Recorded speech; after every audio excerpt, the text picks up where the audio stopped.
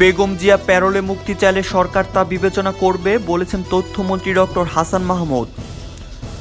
আজ শুক্রবার সকালে রাজধানী শিল্পকলা একাডেমিতে আয়োজিত এক অনুষ্ঠানে তথ্যমন্ত্রী ডক্টর হাসান মাহমুদ বলেছেন, বেগম জিয়ার মুক্তির বিষয়ে সরকারের কোনো চাপ নেই।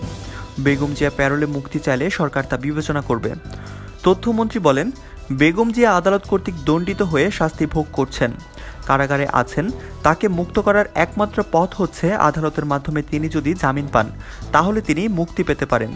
মন্ত্রী বলেন, প্যারোলের বিষয়টি হলো একমাত্র যিনি বন্দী তিনি যদি যান, তাহলেই শুধুমাত্র সরকারের সেটি বিবেচনা করার সুযোগ থাকে। কাউকে তো আর জোর করে প্যারোল দিতে পারা যায় না।